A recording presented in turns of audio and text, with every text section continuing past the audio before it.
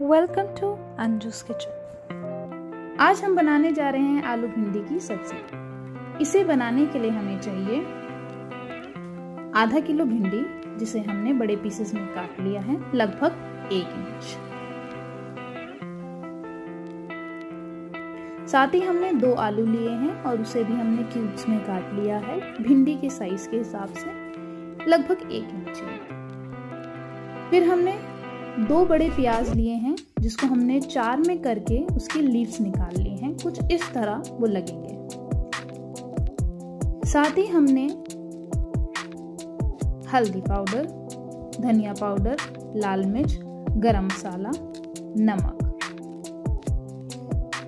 आमचूर एजवाइन और लहसुन। तो चलिए बनाते हैं आलू भिंडी की सब्ज़ी। तेल गरम होते ही इसमें हम लहसुन डालेंगे। फिर एजवाइन एजवाइन होते ही हम इसमें आलू डालेंगे। आलू को हमें पहले पकाना है। लगभग 50-60 परसेंट हमें पकाना है।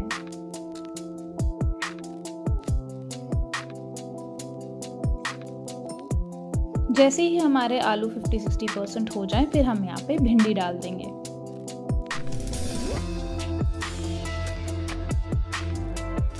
भिंडी को हम थोड़ा टॉस कर लेंगे।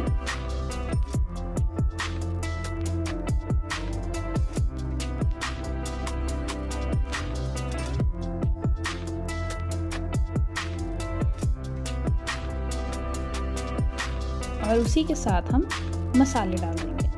तो हमने डाला है हल्दी, धनिया पाउडर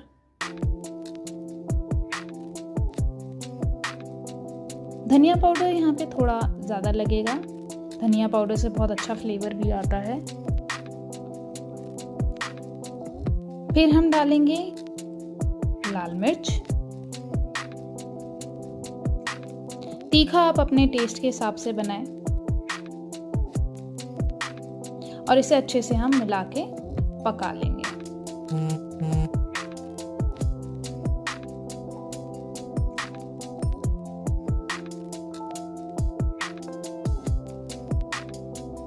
मसाले मिक्स करने के बाद हम भिंडी को कम से कम पाँच मिनट पकाएँगे। अब इस वक्त यहाँ पे भिंडी हमारी काफ़ी सॉफ्ट हो गई है।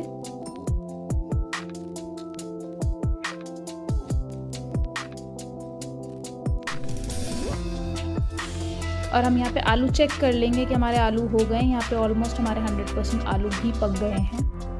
तो इस वक्त हम लोग यहाँ पे प्याज डालेंगे। प्याज हम लास्ट में डालेंगे बिकॉज़ प्याज को पकने में इतना टाइम नहीं लगता और हम प्याज थोड़ी सी कच्ची ही रहने देना चाहते हैं। वो जो हल्की सी मिठास वाला जो फ्लेवर रहता है, वो बहुत अच्छा लगता है। आप प्लीज़ ऐसे ट्राई करें।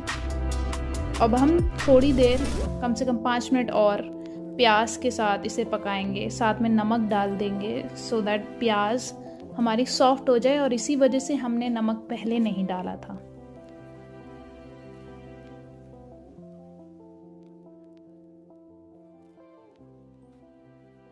अब लास्ट में हम लोग यहाँ पे आमचूर डाल देंगे। आमचूर से एक हल्का सा खट्टास आ सकता है। इसका ऑल्टरनेटिव है, अगर आपके पास आमचूर नहीं है तो आप अनारदाना भी डाल सकते हैं। उससे भी बहुत अच्छा फ्लेवर आता है।